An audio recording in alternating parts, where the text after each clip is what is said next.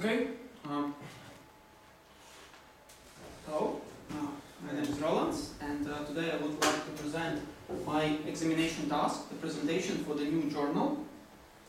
Um, what I have done, uh, I have defined the scope for myself, what I will do in, in uh, that exercise. So the idea is that I will analyze needs for the new journal, I will analyze current process, so as this process, I will provide business process model for the new journal, and as well as will provide IT solution development plan with needed changes. Um, I have realized that there, is, there are several restrictions. So one of the restrictions is that we, we have to use this uh, open journal system. We cannot, so I don't know the reasons, but it's clearly, clearly written that that's the restriction. And the second restriction is related to, to this one, is that we have to uh, basically either uh, configure or develop the plugins for that. So, and uh, this means that uh, we are not doing the uh, revolution in the process, but we are trying to, uh, to make it better, to, to improve it. I have evaluated existing model, so I see the good, good parts of it. So basically it's very good input uh, material, so you can see uh, what's where, and uh, you can basically see the, the process as it goes. But uh, there are many bad things as well. So this is just one level. So what, there was just um, one process with uh, two levels, and this means that uh, kind of it's this picture too big. We cannot show it to I don't know to management board, for example. So it's just too detailed. So and as well, it's not really displaying the whole picture as well. And uh, and uh, there are also, of course, some uh, semantic errors. So the process error endings are the same as the positive one. So you cannot really say so which, which is error and which is the correct flow. And there are also one, one thing which is so it depends how you look on that. So there are different types of models. If you look at that as the part of the uh, of enterprise models from enterprise architecture, so it is okay that we have some samples from that. But if that's um, just made to show the whole picture, then I, think it's not the, the best uh, way how to do it because there was the Archimate, something like Archimate model, uh, and then others as well. Uh, so mm, what I have done as well is I uh, elicit requirements from the materials and uh, compare them uh, to current model. So um, as you see, I have the four I guess, uh, areas, but uh, okay, the, the first part. So I have the general business rules that uh, we have. We should have four issues uh, mm, for to work simultaneously with four uh, issues. Then uh, paper have to be reviewed three by at least three reviewers, and then ensure that the issue to be published quarterly. So you see that basically it's no, no, and one is possible, but it's not specified in any of the diagrams. Uh, the same as you see this uh, for maximum comfort for author. Some of the things are there, but uh, still many of them are not, not there. And the same, so extra to the flexibility and usefulness, uh, relevance things, uh, there as well you see that they are rather red, they are not, not defined in the process. And uh, it's not, yeah, the one is not possible to specify.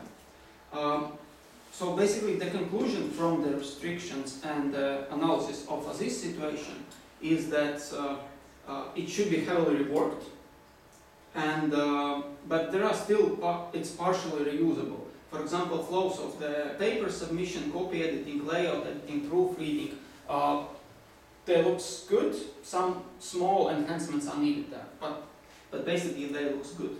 Um, I have uh, certain processes, I have even, even uh, four levels.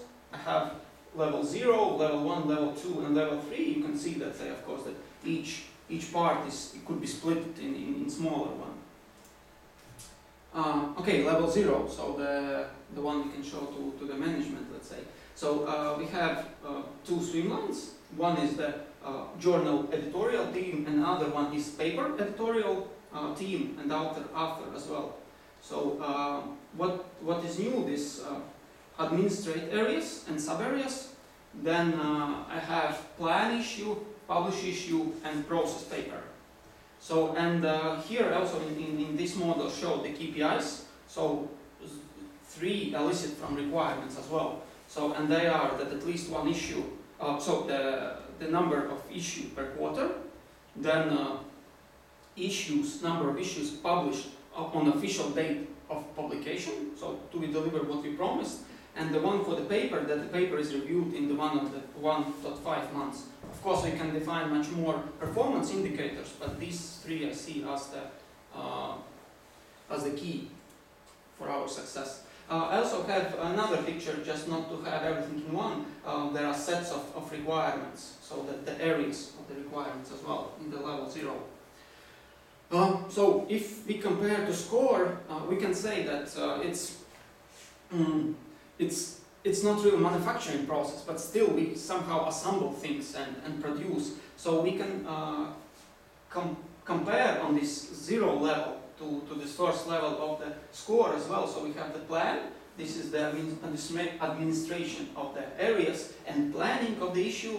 Uh, we have source, which is partially pro, uh, processing of the paper, but uh, as well make is also the part of processing paper so that we uh, edit and improve the quality of the paper. And we have delivered when, when we publish the issue. And uh, even if it's not specified and not requested, uh, we have of course also uh, return, and this is the feedback we get from our readers. Uh, yeah. Uh, so level one, I will not go into very details, but basically, basically this is the uh, for processing paper. Have, um, then I have uh, level two, uh, which is review paper, which is this part of processing paper. And uh, I put also the IT requirements here. You see that all those IT requirements basically mean that uh, certain things are redesigned here. Uh, I have the published paper at level 3 as well, so even smaller uh, granularity level. And here, this is basically the new sub, uh, sub-process uh, is introduced. So you see that basically everything have to be done. And uh, the level 2, the plan issue as well, so that you see it's uh, uh, create a new process which previously was not there, not described. So of course we need for that, like basically everything is, should be covered by requirements because we haven't had this before. Uh, as well as publish issue, basically it's the new one. I redesigned that one as it was not specified uh, in details. Then administrate areas and sub sub areas. There were certain requirements uh, for the sub areas. So and it was not previously uh, designed and uh, the one, the level three, so administrate areas, so certain flow, how we should inform and who we should ask. So that's also the requirements uh, there. And uh, okay, uh, the summary. Uh, basically, once again, the requirements. I compare to my flows. Then, uh, do I really cover all those new journal requirements? And uh, I should admit, so that's uh, it's covered. That's good, but that was the aim. And uh, the second part is, is covered as well. Surprise, surprise. Um, then uh, IT development plan. So basically, as I see it, uh, I see it as the three deliveries. Uh, the first one is that which is critical for the KPIs, uh, and it is that uh, I have certain requirements for the process, processing paper and publishing paper. So, and I think that uh, if you start right now, we can do by the first uh, July. And uh, basically, I think that we can go live. If you want to launch this journal, we can do that as well. So this is critical for us. And then we have second delivery, which is the administration of the areas and sub areas, so that we give the flexibility as well. And, uh, and then I have third one, which is the planning issue, so that for the next year, and in my process, it is so that uh, um, you can you can start planning for the next year. So you see that's in, in the end of the year, so the next year could be started with, with a new model. And uh, so, uh, okay, sorry, um, yeah. And the last one is that, of course, there are many other features which should be improved and could be approved, and for that I see we can uh, go this in agile way to create backlog and uh, real work. So most important things first, and, and then other things, if of course we have the budget for that.